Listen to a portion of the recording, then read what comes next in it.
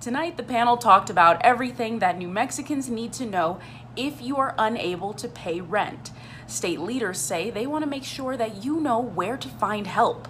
With unemployment checks cut short, many New Mexicans are facing the tough decision of paying rent or buying food. New Mexico state leaders say you shouldn't have to choose. And making sure that you can have stable, safe housing, that place where a person can call home, that they have that in place has more of an impact.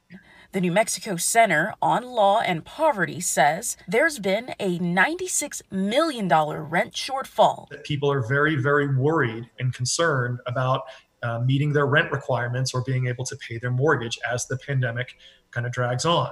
And more than 100,000 households were unable to pay rent.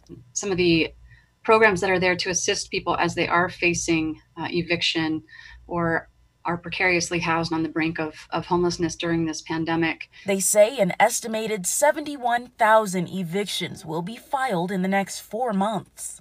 Don't just ignore it and hope that it will go away and get better. It will not. So, what if you can't pay rent? State leaders say the first thing to do is reach out to your landlord the second you are about to miss a payment. And next, contact one of the many assistance programs that help with rent and mortgage.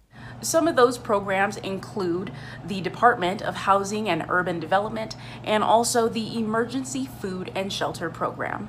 Shelley Leggett, KOAT Action 7 News.